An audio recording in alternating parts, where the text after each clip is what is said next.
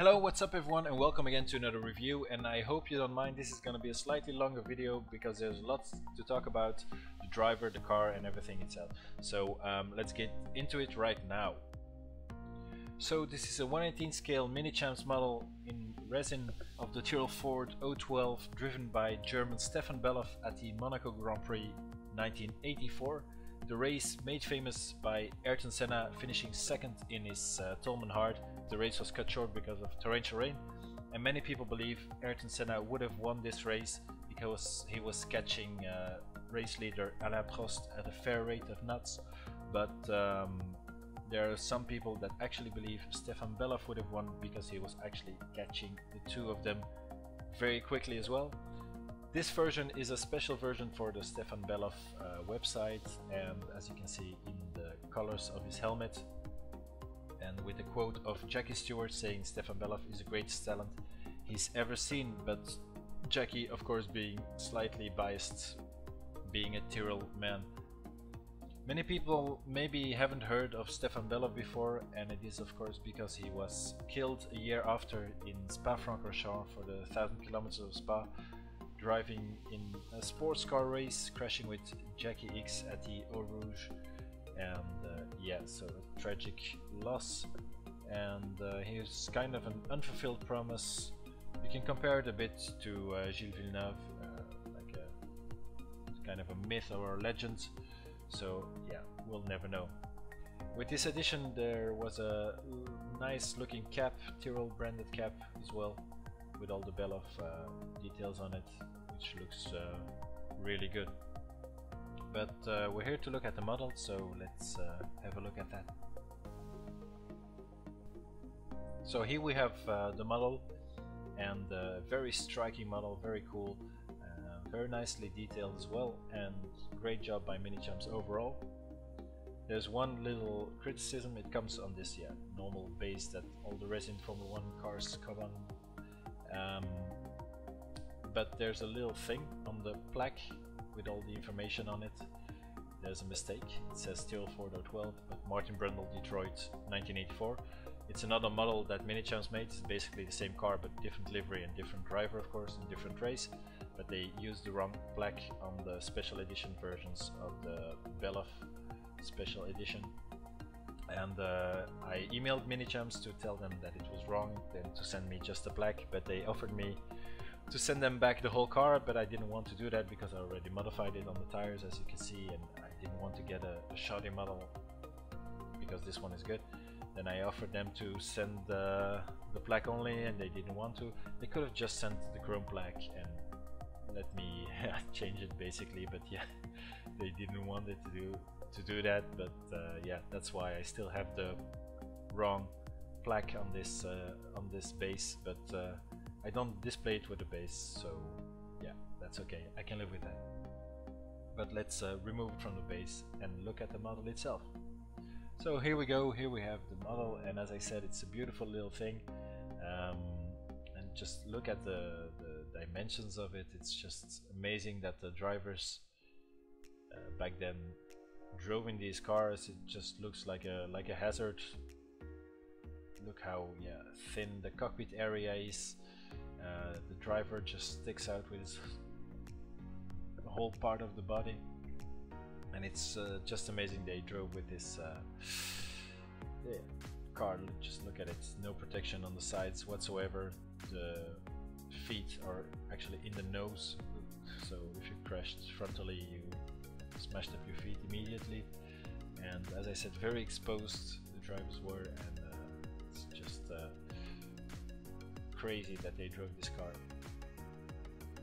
The details are very very good as I said um, just beautiful looking model. I was really looking forward to um, to seeing this when Minichamps uh, announced it and they didn't let me down I have to say it's really a very good looking model.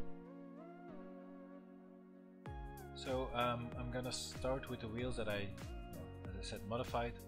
Um, very cool as well, the colors of wheel nuts, red on the left and aluminium or silver color on the right. I didn't finish the right side yet with the tire markings, but uh, yeah, I colored the rims silver as well, the ring around the rims. It's not neatly done because I wanted to look it to look uh, race worn.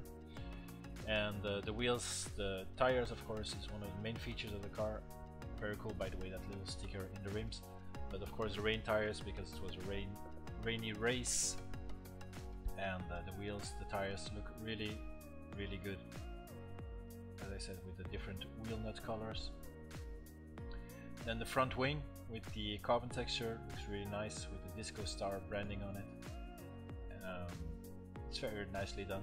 And then underneath the nose you have this weird um, like uh, loop or pull ring or whatever, but it's um, very thin, very refined, and it's very cool that uh, Minichamps actually included that on the model. I don't know if it's uh, on there on the real car. I assume it would be so. Um, but it looks really good. The end plates as well with the bolts in it. It looks nice. The suspension looks good, even though it's um, very simple and basic, but that's because the suspension was very basic, of course. Uh, and then all the detail in the brake duct calipers as well looks, um, or uh, scoops as well, it looks really good. Then uh, the cockpit looks really nice, especially the helmet of course, beautiful color scheme and beautiful little helmets. And then you have the figurine which is very detailed and a very nice touch by Minichamps are the overalls. I um, never noticed it but the overalls are unbranded and it's because uh, Stefan Bellof wore a rain jacket or raincoat or maybe over overall to protect his overalls because it was uh, a rainy race of course as I said. And uh, so it's pretty cool. Minichamps noticed that and uh, put the um, overalls or cover overalls on it. The rest of the cockpit is very detailed with all the gauges in the dashboard the gear stick lever and the seat belts with the photo etch parts the blue seat belts they look really good. Another thing I really like is behind the head there on the other side there's this uh, well pull ring well, it's not really a ring it's a U-shaped thing um, the electrical cutoff next to the lightning bolt there and uh, it's very nice that they did that then there's this little detail as well the different um, radiators on the side pods either side the big one on the left and the two small ones on the right and then the exposed engine, the normally aspirated Ford engine that they used uh, with the grill on top. Most of the other teams already had turbo engines and Tyrrell used the uh, normally aspirated Ford engine which was down on power uh, but they had a trick for it by actually cheating but let's talk about it another time. Then the damper the red damper looks really good with the uh, inboard brake next to it. And the exhaust sticking out there as well. And then the gearbox casing on which the huge rear wing rests with a pillar central pillar there. Yeah so the whole engine compartment and rear suspension looks really detailed. And it's really nicely done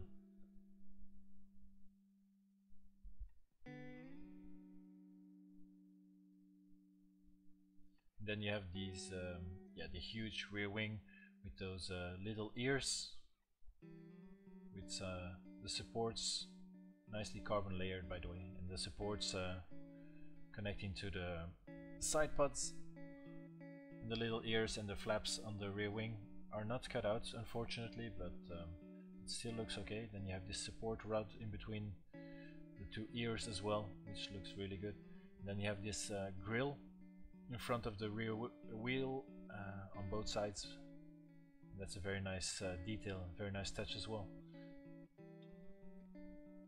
So yeah, as I said, uh, very very good looking model. Um, Minichamps did uh, really did their research on this one. I'm very happy um, with it.